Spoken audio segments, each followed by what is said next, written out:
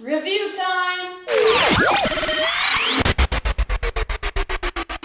Today, we'll be reviewing the Saucony Freedom ISO.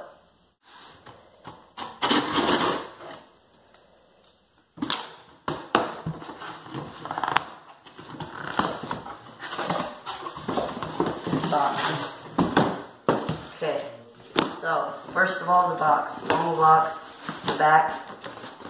You've some mile times, marathons, your own personal log, that stuff.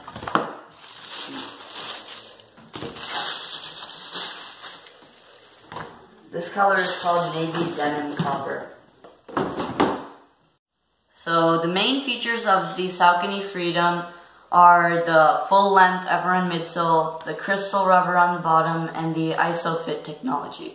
So the full length Everun midsole, it's their new energy returning foam. It returns 83% energy and it'll last you three times more than normal EVA foams. And the ISOFIT is supposed to be a more more efficient fit on your foot. It'll it'll give you more support while you're running. And on the bottom we have the crystal rubber and it's really durable, very grippy, and it'll last you a very long time. So so I have a very good opinion of this shoe. Um, I really like it. Lightweight, comfortable, really durable. I like the looks. Um, it's all good. Except the only concern I have is the 160 US dollars.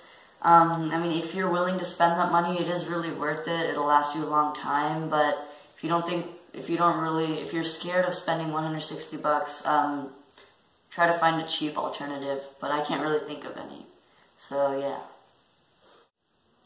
So my overall conclusion on this shoe um, is that I really like it. It's not cheap, but it's lightweight. It has all the good features. Um, it has energy return, really durable, lightweight, I already said that, comfortable, um, secure lockdown, nice support, not too much support, but um, yeah.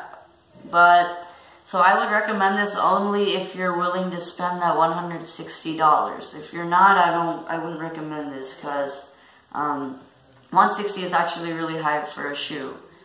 Um, yeah, but knowing that it's going to last you a really long time, I guess 160 is not that bad. Okay, now for some testing on feet.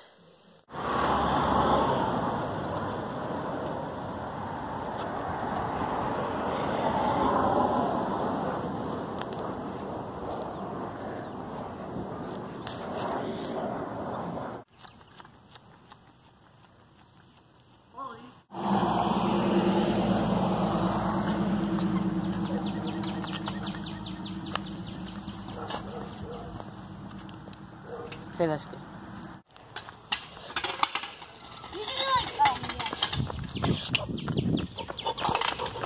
Same speed, same.